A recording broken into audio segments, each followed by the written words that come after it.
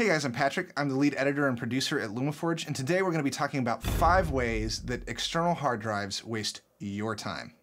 Now, I don't know about you, but whenever I'm working with an external hard drive, it's great as long as I'm staying within the amount of capacity that that one drive happens to have. So if you're working with something like a 10 terabyte hard drive and you're working on not a small project, but you know, not a feature film, then you're probably fine.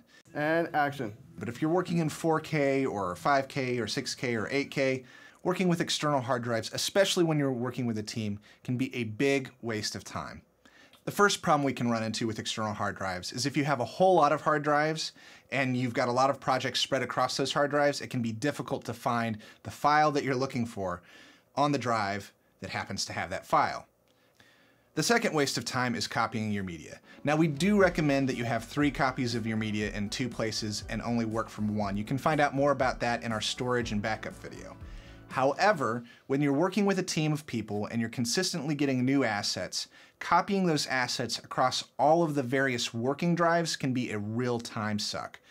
The third waste of time is cabling drives. Now hear me out, it seems like that may not be that big of a deal, right? Each drive has its own cable until you have those 25 drives and some are USB 3, some are Thunderbolt 2, some are USB 1, some are USB 2, some are eSATA, some are FireWire 800, some are the list goes on and on and on.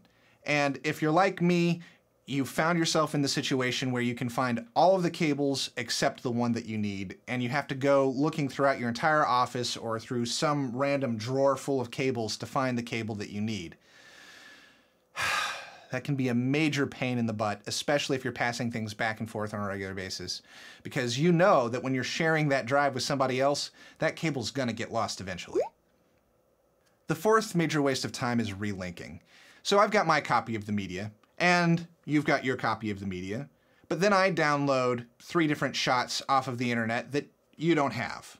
And I tell you where those shots are, or maybe I even give those shots to you. But I've put them in a specific folder on my hard drive, and you don't have that folder. And if our drives are named something different, right? Maybe I'm on Seagate 1 and you're on Promise, those root names will change the file path to that specific file. So if I'm passing you a project that is expecting the name of my drive and the folder structure of my drive, then there's a good chance that you're going to have broken links and you're going to need to relink. Now, if you're doing this once, not a big deal. But if you're working with somebody back and forth on a regular basis, this relinking process can really eat up a lot of time. The fifth big waste of time is cataloging media. At the very beginning, we discussed that it can be an issue if you don't know where your files are.